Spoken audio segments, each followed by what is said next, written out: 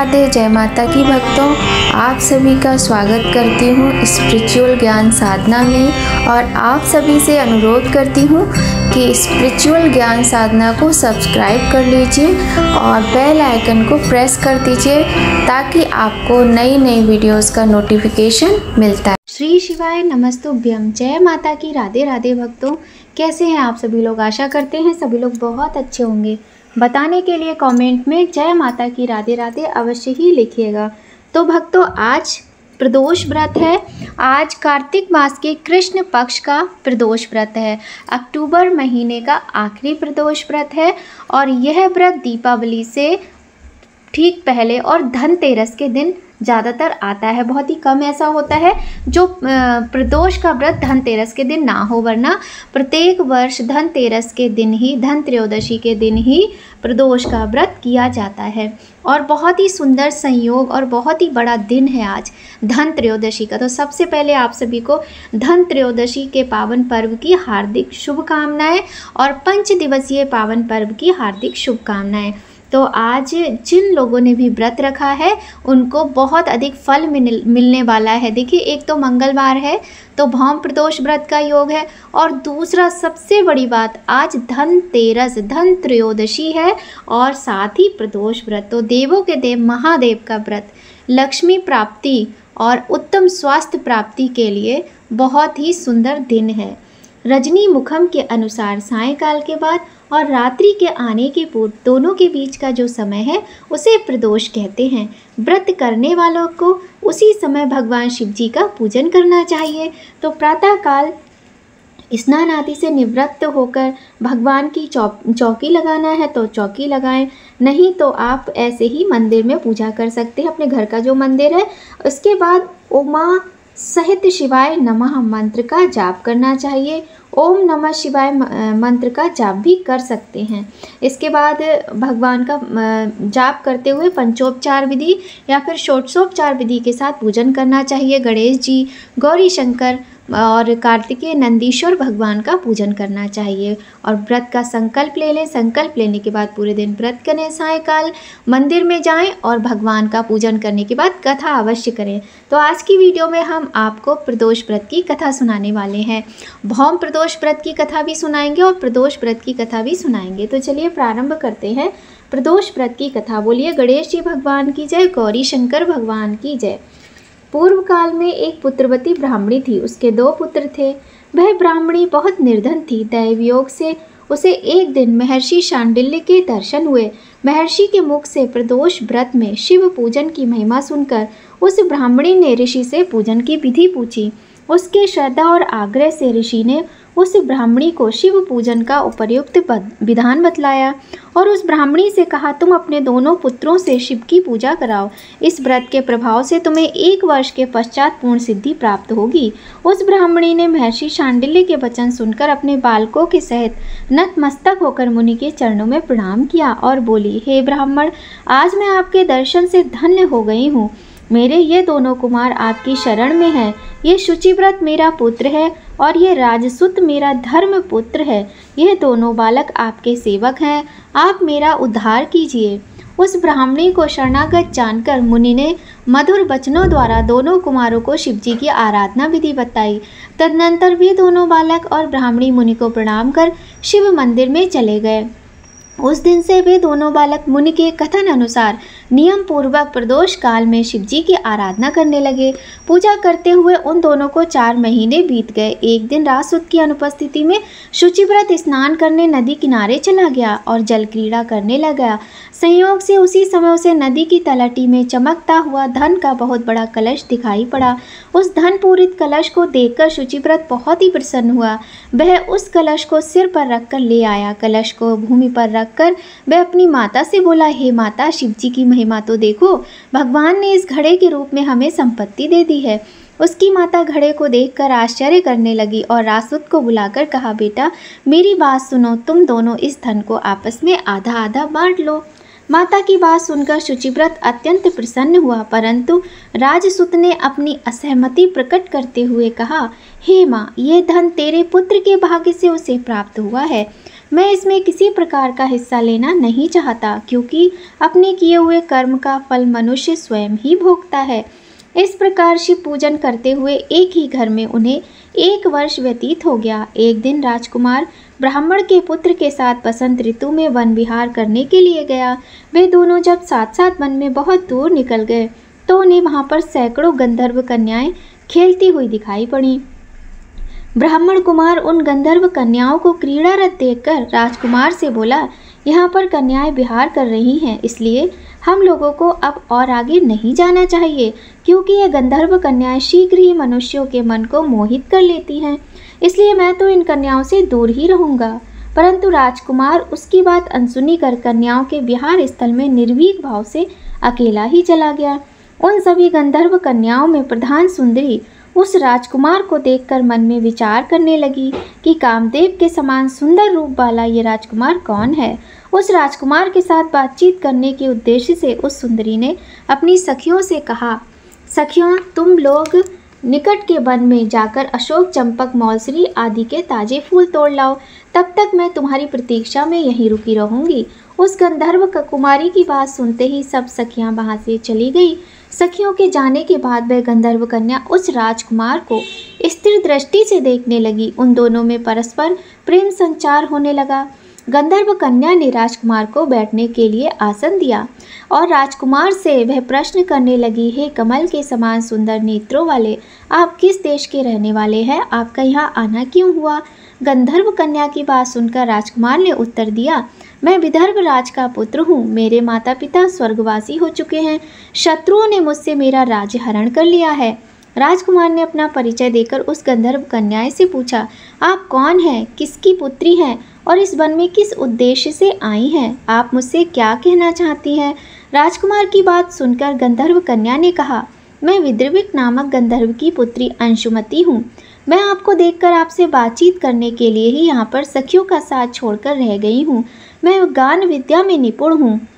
मेरे गाने पर सभी देवांगनाएँ रीझ जाती हैं। मैं चाहती हूँ कि आपका और मेरा प्रेम सर्वदा बना रहे। इतनी बात कहकर उस गंधर्व कन्या ने अपने गले का बहुमूल्य मुक्ताहार राजकुमार के गले में डाल दिया। वह हार उन दोनों के प्रेम का प्रतीक बन गया। इसके पश्चात राजकुमार ने उस कन्या से कहा, हे सुंदरी तुमने जो कुछ कहा है वह सत्य है, लेकिन आप राज्य विहीन राजकुमार के पास कैसे रह सकेंगी? आप अपने पिता की अनुमति लिए बिना मेरे साथ कैसे चल सकेंगी? राजकुमार की बात पर वह कन्या मुस्कुराकर कहने लगी, जो कुछ भी हो, मैं अपनी इच्छा से आपका वर्ण करूँगी। अब आप परसों प्रातःकाल यहीं पर आइएगा। मेरी बात कभी झूठ नहीं हो सकती। गंधर्व कन्या ऐसा कहकर पुनः सखियों के पास चली गई।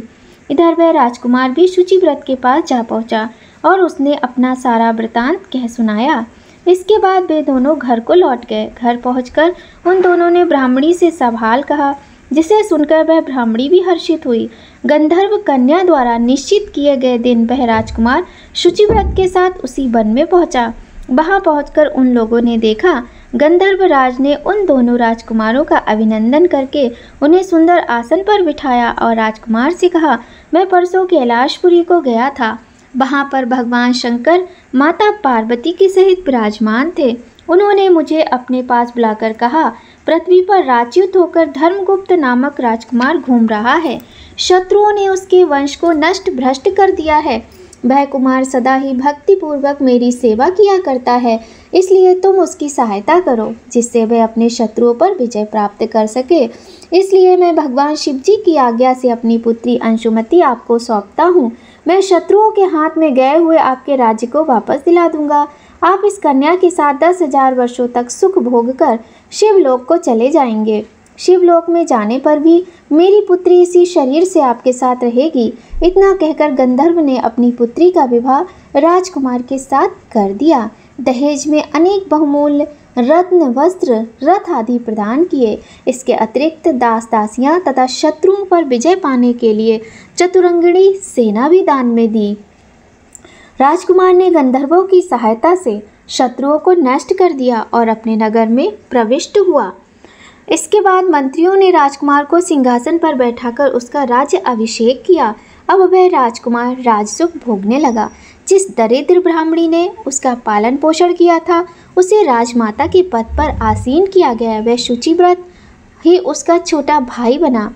इस प्रकार प्रदोष व्रत में शिव पूजन के प्रभाव से वह दुर्लभ पद को प्राप्त हुआ, जो मनुष्य प्रदोष काल में अथवा नित्य ही इस कथा को श्रवण करता है, वह निश्चित ही सभी कष्टों से मुक्त हो जाता है और अंत में वह परम पद का अधिकारी बनता है। उसे शिवलोक की प्राप्ति होती है, जैसे कि राजकुमार को हुई। बोलिए, गौरी शंकर, भगवान की जय।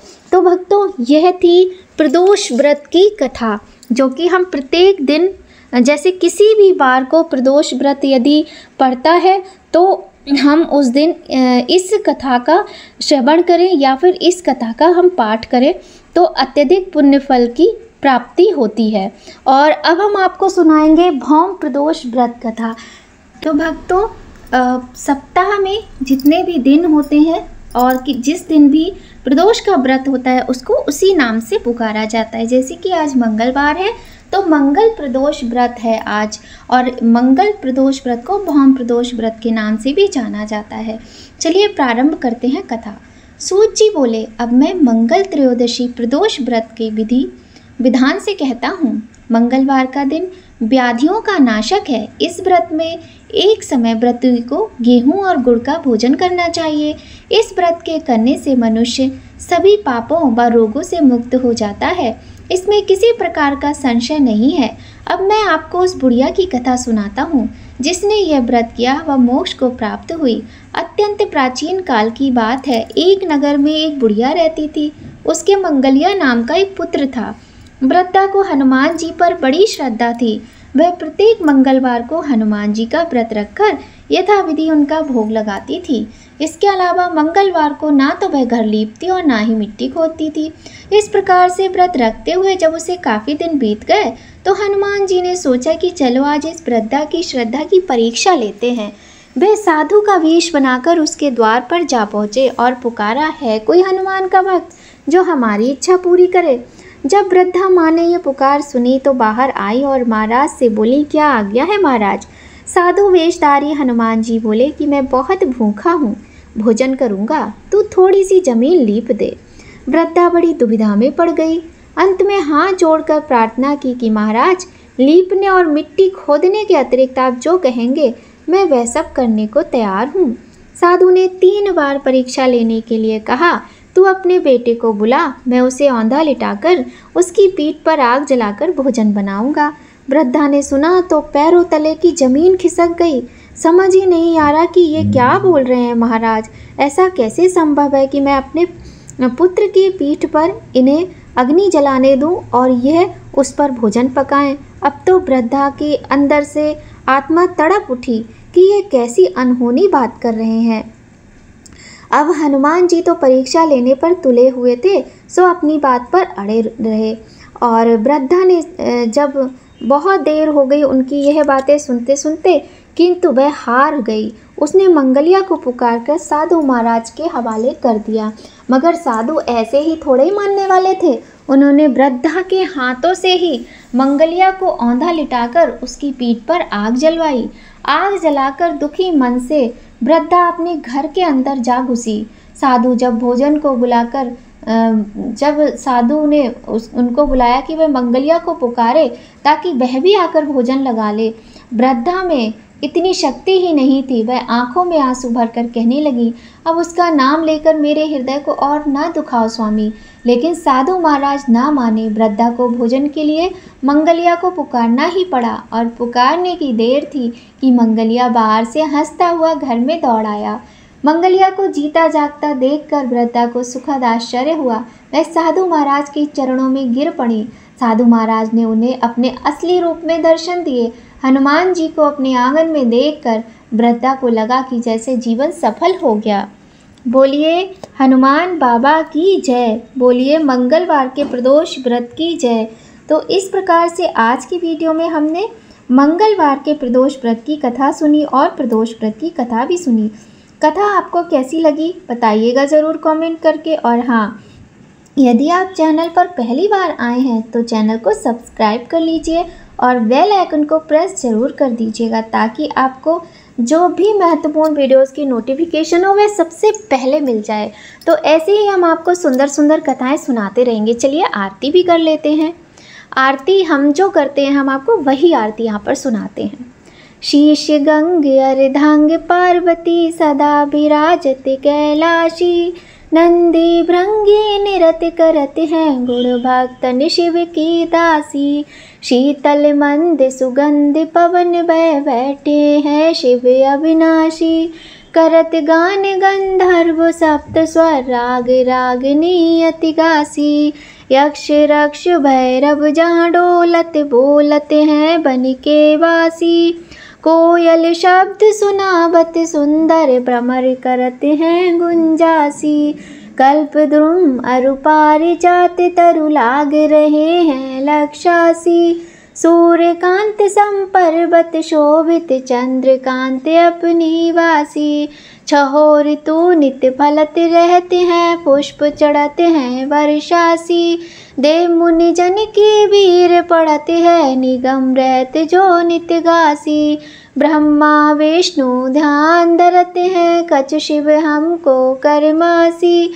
रिद्धि सिद्ध के दाता, शंकर सदा आनंदित सुख राशि जिनको सुमिरन सेवा करते, छूट जाए अम की फांसी। त्रिशूल धर को ध्यान निरंतर मन लगाए कर जागासी दूर करे विपदा शिव तन की जन्म जन्म शिव पद पासी।